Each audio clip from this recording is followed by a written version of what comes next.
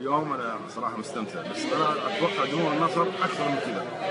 عايزون المباراة الجاية. تحتاج تحتاج يا رب إن شاء الله.